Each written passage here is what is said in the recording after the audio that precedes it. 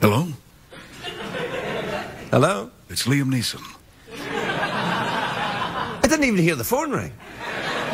That's just how good I am. Listen, I'd uh, like to purchase your robot.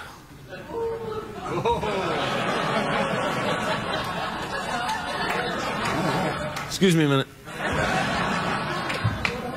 How much we talking, Liam Neeson? I don't know who you are, but I will find you. And I will take that robot from you.